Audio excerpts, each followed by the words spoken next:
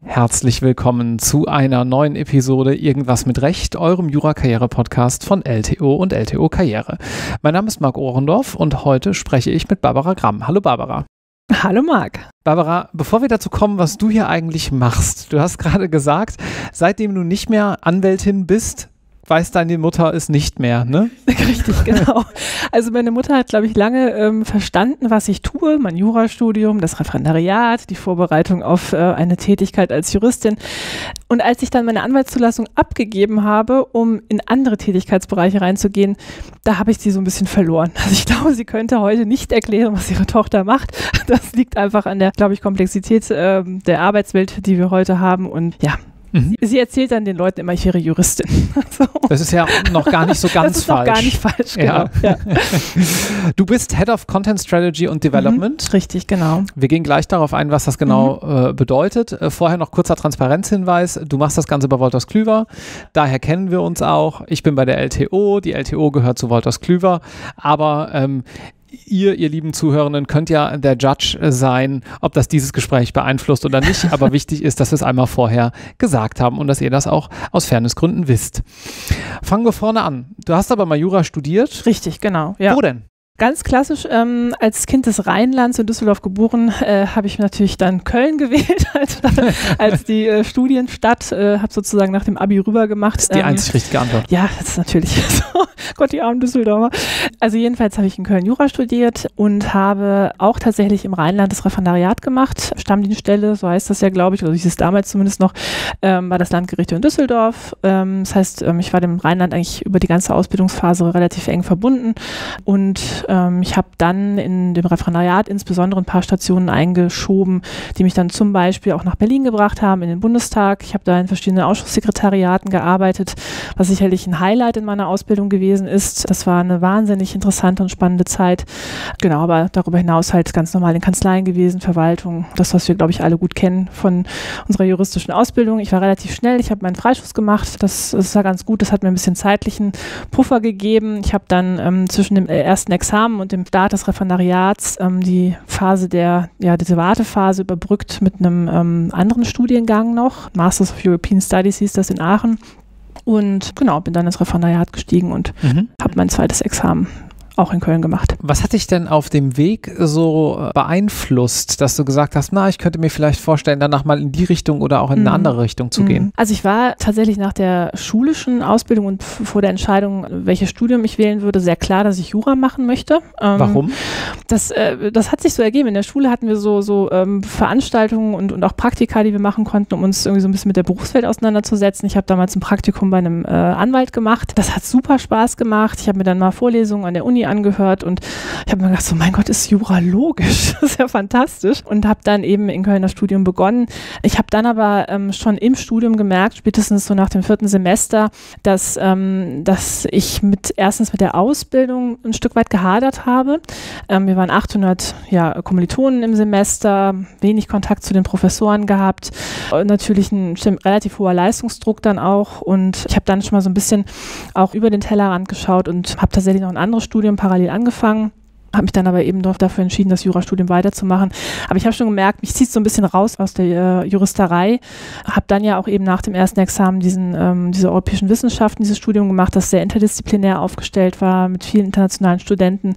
Politik, Kommunikation war da ganz viel äh, im Fokus. Und da habe ich gemerkt, da ziehen meine Stärken mich auch hin. Ne? Das äh, hat mir sehr viel Spaß gemacht. Und trotzdem hast du dir in Anführungszeichen das Referendariat und das zweite Examen noch angetan. Ja, ja, genau.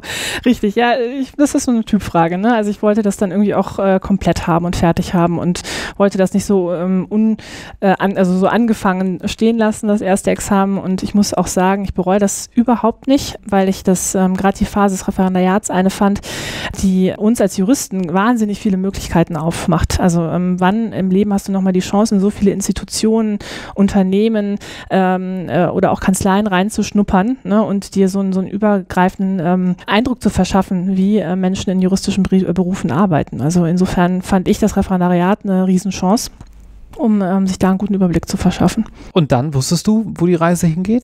Richtig. Nicht. Nein, wusste ich natürlich nicht. Ich habe dann nach dem zweiten Examen für mich auch erstmal so eine Phase der Orientierung starten müssen. Ich hatte dann zwar meine zwei Examina in der Tasche und ach genau, musste den Master natürlich noch abschließen und dann habe ich äh, erstmal so ein bisschen offen geschaut und habe, wie es dann oft ist, durch Zufälle eigentlich ähm, eine Position bei der Bertelsmann Stiftung ähm, bekommen. Da habe ich mich als Projektmitarbeiterin beworben, eigentlich in einem anderen Projekt. Die waren aber schon voll und dann rief mich ein äh, Projektleiter aus einem anderen Projekt an und meinte so, hey, ne, äh, wir hätten hier noch was und äh, willst du nicht? Und dann habe ich zu einem Thema Jugendarbeitslosigkeit in Europa gearbeitet bei der Bertelsmann Stiftung, ähm, auch mit einem großen Kommunikationsteam zusammengearbeitet äh, und da ging schon, das merkte ich auch im Projektteam, in dem ich damals war, meine Stärke eindeutig in die äh, Kommunikation, Publikationen, Arbeit mit Autoren. Ich habe mich da sehr viel um dieses ganze Autorenmanagement aus dem Projekt heraus gekümmert, Bücher äh, veröffentlicht ähm, und da merkte ich so, da wurden dann so die ersten äh, Kontakte Richtung Verlage geknüpft und es hat mir wahnsinnig Spaß gemacht und äh, an diese Phase der Projektarbeit hat sich dann tatsächlich auch gleich mein erster Job in einem Verlag äh, angeschlossen. Mhm. Und wo warst du dann? Ich war bei einem Schulbuchverlag, auch hier im Rheinland, Bildungsverlag 1 hießen die. Die haben ins, im Wesentlichen ähm, Schulbücher gemacht für die berufliche Bildung. Und dann hast du gesagt, jetzt hast du genug Schulbücher hinter dir gelassen und bist dann irgendwann weiter in der Verlagswelt weitergezogen. Richtig, genau. Ich habe das drei Jahre gemacht als Projektmanagerin und ähm, das war schon ganz interessant zu sehen, wie sich Schulbücher entwickeln. Ähm, und auch da haben wir natürlich schon so erste Überlegungen getätigt, okay, wie kann man jetzt Inhalte für die Schüler so aufbereiten, dass sie sich auch jenseits von Büchern bewegen. Ähm, da natürlich noch so ganz, ganz am Anfang, da war man schon äh, fancy, wenn man eine CD-ROM in ein Buch gepackt hat. Also das war wirklich noch so die ganz äh, großen Anfänge. Und ähm, relativ bald danach bin ich dann äh, gewechselt äh, zu einem anderen Unternehmen, ähm, zur Haufe Group nach Freiburg und habe da auch als Projektmanagerin gearbeitet, dann aber dann wirklich nur noch in digitalen Konzepten. Also mhm. auch hier bin ich ja dann in ein Umfeld gekommen, das stark verlagsgetrieben ist. Also da ging es ganz stark um äh, Fachinhalte für Experten. Die digitale Transformation in diesem Unternehmen war schon sehr, sehr weit. Äh, man hatte schon wirklich viel gemacht und geschafft, dieses Expertenwissen auch zu digitalisieren und ähm, in neue Content-Formate zu packen. Und dort habe ich dann nochmal vier, vier, fast fünf Jahre Produktmanagement gemacht für äh, Softwarelösungen, für den HR-Markt insbesondere und habe da nochmal so richtig was darüber gelernt, ähm, wie es gelingen kann, äh, eben komplexe Fachinhalte auf eine Art äh, anzubieten Richtung Kunde, die etwas anderes ist als das reine Buchformat. Ja, und das ist letztlich ja auch was, was dir wahrscheinlich jetzt ganz gut äh, zugute kommt. Total. Äh, hier mit vor allem dann juristischen Fachinhalten. Richtig, genau, hm. richtig. Ich habe vor zwei Jahren dann bei Wolters Klüver angefangen, ähm, einen Bereich ganz neu aufzubauen, eben der Bereich Content Strategy and Development. Wir sind ein Team, das man muss sagen, dass das Glück hat, ähm, aber manchmal auch die Herausforderung, ganz neu starten zu können. Ähm, ich habe mit zwei Kollegen hier, im, äh, hier angefangen, die schon im Haus waren. Die haben mir so ein bisschen Starthilfe leisten können, weil sie Prozesse und, und Kollegen schon gut kannten. Und wir drei haben dann gestartet mit äh, diesem Team und haben es aufgebaut. Wir sind mittlerweile inklusive Werkstudenten fast elf Leute. Und ich würde sagen, uns, uns ist es gelungen, in diesen zwei Jahren uns auch gut in der Organisation zu verankern mit unserem Beitrag. Und unser, unsere Aufgabe ist im Wesentlichen, sich eben auch hier jetzt anzuschauen, wie kann es uns gelingen, juristisches Fachwissen, das in der Regel sehr komplex ist, äh, sehr viel ist, ne, eine hohe Durchschlagzahl hat, was die Aktualität betrifft, auf eine Art anzubieten, die unseren Kunden in ihren Arbeitsprozessen noch besser hilft. Gut, jetzt dann mal so, dass meine Mutter ja. Liebe Grüße. und meine Mutter. Und deine Mutter. Verstehen. Das auch verstehen. Ja? ja also wir haben, den, wir haben den Verlag, äh, Wolters Klüver in dem Fall. Richtig. Wir haben komplexe Inhalte, die sind mhm. erstmal abstrakt, die werden mhm. aber natürlich geschaffen von Menschen. Absolut. Von genau. Autoren. Richtig. Und wir haben bestimmte Produkte, in Richtig. denen diese Inhalte stattfinden. stattfinden, irgendwie, ich sag mal ganz untechnisch, in Szene gesetzt werden. Mhm. Und dann gibt es natürlich Menschen, für die das gut ist, wenn die diese Inhalte konsumieren können und deswegen kaufen die die Produkte. Genau. Die Kunden.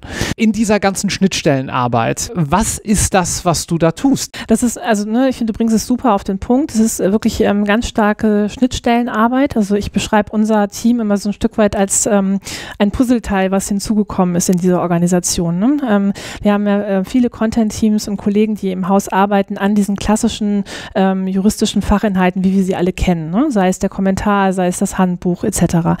Die sind alle digital verfügbar und sind, ich nenne das oft auch den Nukleus ne, unseres Wissens im Haus. Ne? Also das ist wirklich der Kern dessen, was Wolters Klüver unseren Kunden anbieten kann. Was wir versuchen in meinem Team, ist den Bereich jetzt für uns zu erschließen, der zuvor noch nicht erschlossen war, nämlich Content-Formate zu entwickeln, die ein Stück weit das Portfolio, was wir bereits haben, anreichern. Eben wie soll ich sagen, in den Arbeitsprozess unserer Kunden hineingehen an Stellen, wo sie uns bisher noch nicht hatten. Wenn ein Anwalt beispielsweise vielleicht gar nicht tief in einen Kommentar abtauchen möchte, um sich mit verschiedenen Meinungsstreitigkeiten auseinanderzusetzen oder lange in Gerichtsurteilen lesen möchte, will er vielleicht aber gerade in seinem Arbeitsprozess vielleicht einen kurzen Überblick über einen bestimmten Prozessschritt haben oder ein kurzes Update, hey, was ist denn das aktuellste Urteil dazu? Oder gibt es dazu eine kurze Einordnung äh, von einem ähm, Fachexperten?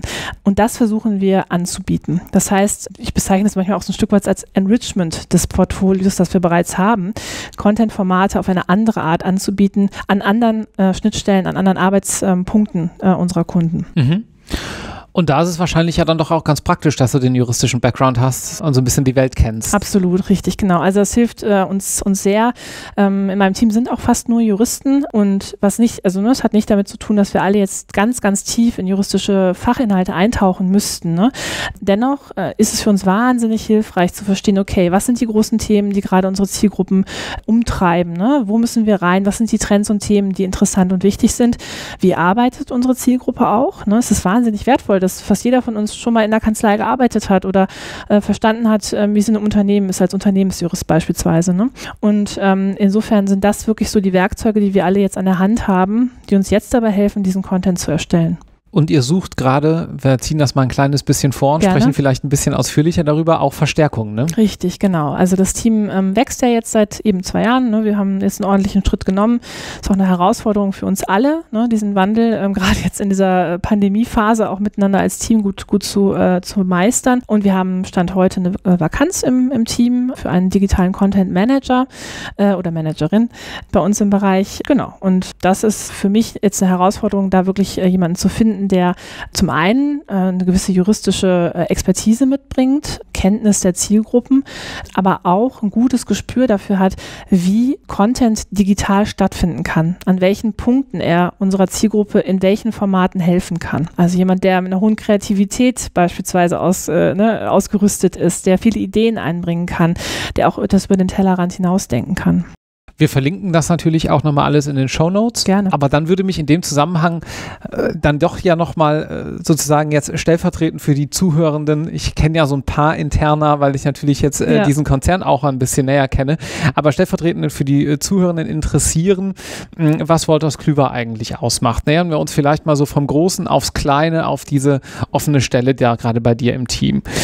Wolters Klüver kann man eigentlich nicht ohne digitale Transformation denken oder wahrnehmen. Ja. Ja. Was muss man sich denn beispielsweise mit dem Außenblick einer Referendarin oder eines Referendars darunter vorstellen? Die digitale Transformation, ähm, so wie wir uns bei Wolters Klüver damit beschäftigen, ähm, betrifft natürlich ganz viele Facetten. Jenseits der Tatsache, dass sie uns in unserem eigenen Tun beschäftigt, ne? weil wir uns natürlich auch täglich die Frage stellen müssen, wie arbeiten wir gut miteinander äh, vor dem Hintergrund dieser vielen Veränderungen, treibt sie natürlich unsere Zielgruppen genauso um. Gerade in dieser Pandemiephase der letzten anderthalb, zwei Jahre oder anderthalb Jahre äh, haben wir gesehen, dass ähm, Kanzleien, Unternehmensjuristen etc. unter wahnsinnigem Veränderungsdruck stehen. In den letzten Jahren war es oder in den letzten Monaten natürlich war es super schwer, sein Business as usual aufrechtzuerhalten, wenn man nicht die richtigen digitalen Tools an der Hand hatte. Ne? Das heißt, diese ähm, Dynamik, die am Markt entstanden ist, was die ähm, Transformation äh, betrifft, ist enorm geworden mhm. und fast schon überlebenswichtig. Ne? Da mussten sich Kanzleien einfach ganz neu aufstellen und wir versuchen an diesem Veränderungsdruck anzusetzen und und zu schauen, was können wir anbieten als Wolters Klüver und dann ins Klein bei mir jetzt in meinem Bereich mit digitalen Inhalten, um eine Kanzlei so auszustatten, dass sie weiter erfolgreich arbeiten kann. Und das ist ja auch mehr als das reine Digitalisieren von vorhandenen Prozessen. Ich Exakt. will jetzt nicht auf den alten Floskeln rumreiten mit schlechten Prozessen und die schlechten digitalen Prozessen und so weiter. Aber jetzt gerade mal so aus der juristischen Welt gedacht. Ich habe vielleicht ansonsten den Kommentar und könnte den jetzt einfach als PDF von Seite 1 bis 400 mir auf den Desktop leben, legen und durchklicken. Aber ich könnte ja gegebenenfalls das auch irgendwo anders aufbereiten, zugänglicher gestalten, Fußnoten verlinken und so weiter. Richtig. Ne? Und da gehst du jetzt schon in die Richtung ähm, äh, auf oft, also die, das ist die Spur, auf die sich mein Team begibt, ne? zu schauen, okay, wir haben da dieses Riesenwissen im Regal stehen. Ich überspitze das jetzt ein bisschen. Wie kann es uns gelingen, das neu zu denken, sodass unser Kunde, der Anwalt beispielsweise, schneller, effizienter arbeiten kann? Ne? Die Welt, die den umgibt, ist wirklich hoher Veränderungsdruck, also hohe Komplexität von Wissen und dieser, dieser Bedarf, auch der von seinen Mandanten an ihn herangetragen wird, schnell zu arbeiten. Und da versuchen wir zu identifizieren, was kann denn ein, wie kann denn Content aufbereitet sein, um den äh, Juristen an der Stelle äh, zu unterstützen. Ich will mal ein Beispiel nennen, ähm, das es jetzt schon einige Zeit im Haus gibt. Ähm, das ist der Schmerzensgeldassistent beispielsweise. Natürlich haben wir Schmerzensgeldtabellen im Portfolio, ähm, aber jeder, der mit, damit gearbeitet hat, schon mal weiß, dass es relativ äh, mühsam manchmal sein kann, ähm, äh, sich da zu orientieren, um zu schauen, was, was dem Mandanten zusteht. Es wurde eine, bei uns eine Applikation entwickelt, die ist es jetzt durch Anklicken ähm, von einem, einem, ja, so einem kleinen Comic-Männchen sozusagen ganz schnell und einfach macht, herauszufinden, was ich für den Mandanten an Schmerzensgeld beispielsweise erstreiten kann. Okay, ne? also Moment. Ich erinnere mich irgendwie aus dem Studium, äh, kleiner Finger ab gibt erstaunlich wenig Geld, aber bleiben wir mal bei dem Thema. Ja. Also da ist da so ein kleines Männchen, so Richtig. stilisiert, das sieht man dann irgendwie, genau. dann klickt man auf kleinen Finger und dann kommen die Urteile das dazu. noch dazu und äh, der Hals vielleicht noch dazu, also alles das, was den armen Mandanten oder die Mandantin betroffen hat. Ähm, und du kannst halt durch verschiedene Filtermöglichkeiten viel schneller auf das Wissen zugreifen, was du für deinen Mandanten in deinem ganz speziellen Fall brauchst, ohne vorher durch die ganzen Tabellen zu gehen. Das ist so ein Beispiel. Ein zweites Beispiel, was wir vor ähm, anderthalb, zwei Jahren entwickelt haben, ist Wissen äh, unseren Kunden als Online-Seminare anzubieten. Ne? Anderthalb Stunden, äh, ein Fachexperte referiert zu einem bestimmten Thema und äh, kann so unseren Kunden relevantes Fachwissen schnell zur Verfügung stellen, sogar mit der Möglichkeit der Interaktion. Ne? Da kann dann der Zuhörer vielleicht eine Frage im Chat stellen etc. Nochmal eine andere Form. Ne? Da muss sich der Kunde nicht selber die Lerninhalte erschließen, sondern er bekommt sie von uns angeboten mhm. und er kann sogar noch in Interaktion treten mit dem Referenten. Was wir auch entwickelt haben, sind beispielsweise Formularassistenten. Ja, also auch da, wir haben Formularhandbücher, um nochmal den Bogen zurückzuspannen zu dem, was bereits da ist. Mhm. Da können wir uns durchblättern, die können wir auch ähm, digital an, ne, zur Verfügung stellen. Aber wir sind noch den einen Schritt weiter gegangen und haben gesagt, wir nehmen uns diese Formulare, weisen sie in eine entsprechende Technologie ein mit Autoren ähm, als Berater an unserer Seite und unser Kunde kann dann durch ähm, Frage-Antworten selber dieses Formular schnell erstellen so dass am Ende des ähm, Prozesses beispielsweise ein fertige, fertiges Testament herauspurzelt oder woran der Kunde eben gerade arbeitet. Das heißt, wir geben ihm etwas an die Hand, womit er direkt ein Arbeitsergebnis erzeugen kann. Ne, er muss da nicht in ein Formularbuch schauen und sich das dann irgendwie ähm, selber gestalten, sondern er bekommt es von uns durch Frage-Antwort schnell ähm, erstellt. Mhm. Das sind so Beispiele, wo wir versuchen eben mit ähm, Contents zu arbeiten und die in einer Art neu anzubieten, sodass sie sich viel stärker an den Arbeitsprozess des Kunden richten. Nochmal ganz kurz zu einem Punkt zurück, den du eben angesprochen hattest, nämlich die Arbeit in den mhm. letzten anderthalb Jahren hier unter Corona-Bedingungen, die ja auch mhm. natürlich, so ich sag mal, die persönliche und vielleicht auch hausinterne äh, digitale Transformation ähm, nach sich ziehen bzw. fördern. Ja. Es bedarf jedenfalls irgendwie digitaler Tools. Wie sieht denn eure Arbeit oder sah eure Arbeit in den letzten anderthalb Jahren ganz konkret so aus? Ich, ich bin bis heute wirklich völlig begeistert davon, wie es uns als Team gelungen ist, von heute auf morgen nahezu ins Homeoffice zu gehen und fast ausschließlich digital miteinander zu arbeiten. Mhm. Also ne, dieser 13. März war es, glaube ich, dieser Freitag der 13., wo dann die Ansage kam, es geht jetzt ins Homeoffice, auch für uns alle war so eine ganz krasse Zäsur, ähm, die, glaube ich, bei uns allen ausgelöst hat, wie geht es jetzt weiter, ähm, wie gelingt es uns trotzdem gut miteinander zu arbeiten, gut in Kontakt zu bleiben, etc. Und ich bin wirklich ähm, beeindruckt davon, was, ist, was uns in diesen anderthalb Jahren gelungen ist. Gleichzeitig kann man nicht ignorieren, was das für Herausforderungen für jeden von uns äh, bedeutet hat. Ne? Es ist die Belastung, wirklich nur vor seinem Rechner zu sitzen, und das können bestimmt viele, die jetzt auch zuhören, völlig nachempfinden, ist ganz, ganz hoch. Und mhm. da auch mit sich diszipliniert zu sein und zu sagen, nein, ich mache jetzt die Pause, nein, ich gehe jetzt mal um den Block, ich gehe jetzt mal raus, frische Luft tanken, ähm, das äh, fordert auch was von einem. Und ich finde, bei uns kam noch erschwerend hinzu, wir sind ja ein Team, das sich gerade erst gemeinsam findet. Ne? Wir hatten jetzt in den anderthalb Jahren Zugänge, Weggänge, ne, Veränderungen von Rollen und Aufgaben und das alles miteinander zu wuppen, ohne sich persönlich sehen zu können, das ist schon eine Riesenherausforderung gewesen. Wir haben gesehen, dass es ganz, ganz viele super tolle digitale Formate gibt, die einem das leichter machen mhm. ähm, und die haben wir auch genutzt. Zum Beispiel? Äh, ja, also ne, Standard MS Teams, äh, Miro Boards, Trello Boards, ne, also das ist ja, da, da, brauchen wir eigentlich schon fast gar nicht mehr drüber sprechen, dass das da ist. Ne? Ähm, gleichzeitig haben wir uns aber auch ähm, nicht gescheut, unsere Team-Reviews, die drei, vier Stunden dauern, digital zu machen, ja. Oder auch immer mal wieder äh, das viel zitierte Walk and Talk im Team, ne? zu sagen, hey, wir packen uns jetzt die Ohrstöpsel auf die äh, Ohren und dann gehen wir halt mal zu zweit um den Block virtuell, wenn auch, oder übers Telefon, aber trotzdem ist man zusammen. Mhm. Da kann man ja recht kreativ werden, ne? wie man das miteinander lösen kann. Wir haben sogar Pub-Quizzes gemacht. ja, richtig, genau, das war auch sehr lustig. Ja, ich meine, äh, trotzdem ist das, finde ich das ganz wertvoll, dass du das mal so erzählst, mhm. weil man dann ja auch mal so ganz hands-on einfach sich jetzt was mhm. darunter vorstellen kann. Ne? Mhm. Ne? Das sind halt manchmal dann auch einfache Tools, äh, die aber auch große Wirkung haben. Total, also und nicht mehr wegzudenken sind aus der Zusammenarbeit. Und was würdest du sagen, bleibt aus dieser Corona-Zeit für den Arbeitsalltag in deinem Team? Ich denke, dieses schnell miteinander virtuell arbeiten können, da haben wir eine riesen Lernkurve genommen in den letzten anderthalb Jahren, die wir hoffentlich auch aufrechterhalten können. Was ich jetzt spannend finde, ist der Diskurs miteinander zu besprechen, wie wird es jetzt weitergehen, wofür wird das Büro für uns ne, äh, dienen? Also was ist das Büro für uns und äh, was mache ich auch im Homeoffice? Ne? Stichwort im Büro vielleicht eher Kollaboration, Workshops, Austausch, Kreativität, ne? im Homeoffice dann vielleicht eher Kontemplation, mal in sich gehen, etwas in Ruhe konsumieren können etc. Da werden wir jetzt wahrscheinlich auch nochmal eine Lernkurve äh, nehmen können zusammen. Aber ich denke mir, dieses wirklich auf schnellstem Wege digital miteinander in Austausch kommen und sich darüber verbinden, das wird bleiben. Ja, und dass es auch niemanden mehr juckt, äh, wenn man gerade irgendwo unterwegs ist oder noch Folgendes macht. Das ist einfach auf normal, Nein. ne? Ja, ja, ja, genau, richtig, ja. Ja, ja, das äh, sehe ich auch so. Gut, zurück zu der Verstärkung, äh, die du suchst. Das Ganze hier bei irgendwas mit Recht ist ja auch immer so ein bisschen, mm, ja, Ratgeber, wenn man Glück hat, wenn, wenn ich Glück habe und dann freue ich mich immer ganz toll, wenn ich die netten Zuschriften von euch erhalte, aber letztlich auch ein bisschen Brückenbauer dahingehend vielleicht der ein oder anderen von euch oder dem ein oder anderen hier was zu zeigen, wo er oder sie noch gar nicht so drauf aufmerksam geworden war. Also nochmal ganz kurz für mich, was genau sucht ihr gerade? Also wir suchen ähm, Unterstützung bei mir im Team. Die Position heißt äh, Content Manager, mhm. Managerin. Das wird idealerweise jemand sein, der eine juristische Ausbildung mitbringt. Erstes oder zweites Examen? Erstes Examen auf jeden Fall, zweites optional. Mhm. So, also.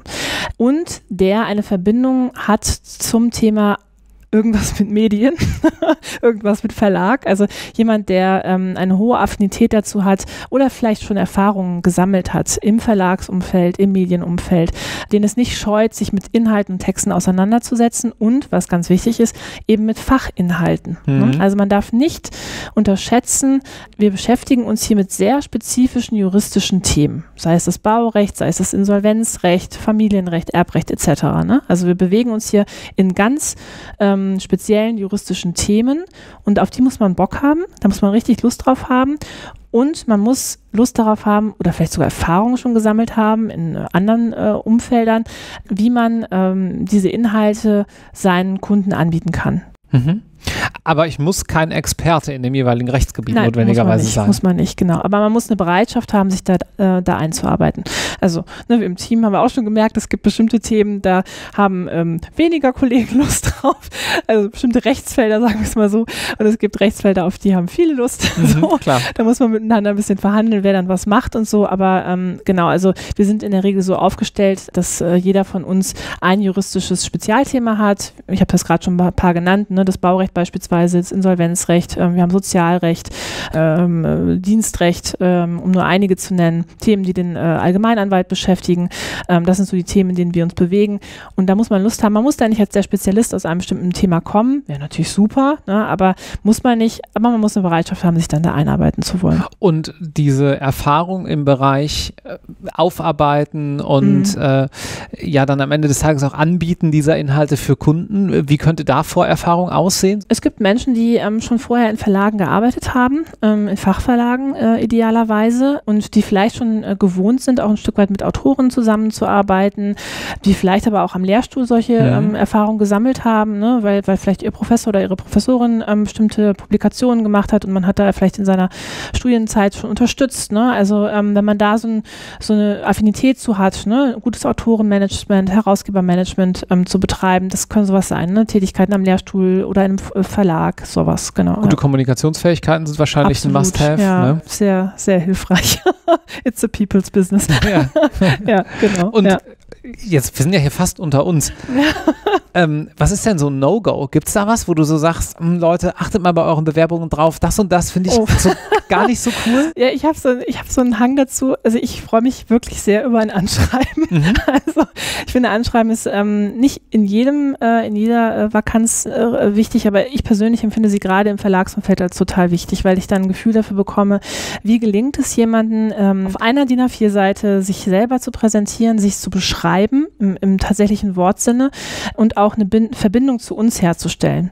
Deswegen ähm, bin ich ein großer Fan vom Anschreiben. Das heißt, wir reden äh, nicht über, sehr geehrte Damen und Herren, mit großem Interesse habe ich gesehen, sondern es sollte irgendwo tatsächlich was Persönliches noch sein. irgendwie zweite Unternehmen in den Briefkorb setzen oder dergleichen. Nein, nein.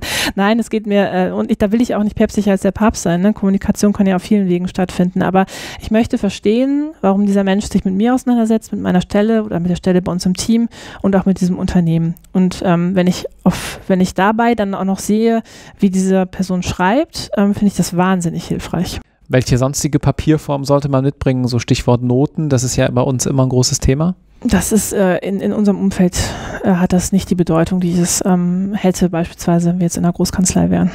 Das ist diplomatisch ähm, ausgedrückt. Ich möchte das nur noch mal kurz äh, betonen dahingehend, dass ich immer so viele Zuschriften erhalte, äh, ob man denn wirklich Doppelprädikat braucht. Also hier wäre mal explizit jemand, der sagt, nein, nicht unbedingt. Richtig. Wir suchen dann auch noch ein paar, nach ein paar anderen Kompetenzen und ähm, dann sind die Noten am Ende des Tages vielleicht nicht das äh, Entscheidende. Mhm. Und wie sieht so ein Bewerbungsverfahren bei WK dann aus? Naja, also ähm, äh, leider in den letzten äh, Monaten und Jahren ja fast ausschließlich virtuell. Also ich habe ähm, tatsächlich schon Einstellungen für mein Team gemacht, wo ich die äh, Kolleginnen und Kollegen wirklich fast nur virtuell in diesem Bewerbungsprozess äh, gesehen habe. Sonst grundsätzlich, also wäre alles normal, würden wir uns selbstverständlich äh, zu einem Erstinterview treffen, ähm, äh, wo idealerweise auch jemand aus dem Team dabei ist, um sich mal so ein bisschen kennenzulernen, wo wir uns natürlich präsentieren und vorstellen, was wir tun etc. und wo man einfach auch so ein Gefühl dafür bekommt, hey, wer sind die Menschen, mit denen ich arbeiten würde, aber vielleicht, ne, man würde sich hier in Hürth treffen, in unserem äh, Office, ein bisschen dafür ein Gespür zu bekommen, wie ist denn die Arbeitsumgebung äh, hier und so weiter. Äh, und in einem Zweitgespräch ähm, würde äh, ziemlich sicher unsere Geschäftsführung auch dazu stoßen und die Geschäftsführerin unseres Bereiches, ähm, damit man sich da auch nochmal kennenlernt, äh, vielleicht nochmal gemeinsam ein Stück weit auch die strategischen Punkte gemeinsam diskutieren kann. Und das sind eigentlich so die äh, wichtigsten Punkte in diesem Bewerbungsverfahren. Wir haben es auch immer versucht, in letzter Zeit, wenn neue Kollegen an Bord kamen, dann virtuell das Team zu treffen. Ne? Meistens eben natürlich nur virtuell. Aber das ist auf jeden Fall dann auch eingebunden. Mhm. Und noch so abschließend, äh, mhm. auf wen müsste man sich dann einstellen? Wer sind so gerade grob ja, umrissen die Leute ja. in deinem Team? Grob umrissen in meinem Team. Genau, also wir haben drei Werkstudentinnen, ähm, die sind alle so viertes, fünftes Semester, die uns unterstützen. Und dann haben wir ein Team vom, wenn ich jetzt mal auf die Altersrange gucke, so von 30 bis 50. Also wir haben einige Kollegen, die äh, schon dezidiert Verlagserfahrung mitbringen. Ich glaube drei Kollegen, drei, vier Kollegen, die schon wirklich eine ordentliche Verlagshistorie mitgebracht haben.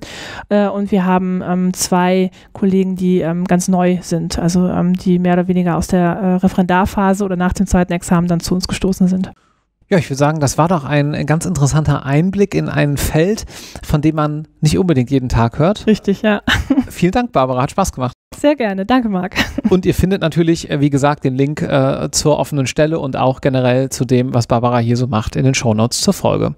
Vielen Dank fürs Zuhören und bis zum nächsten Mal. Ciao.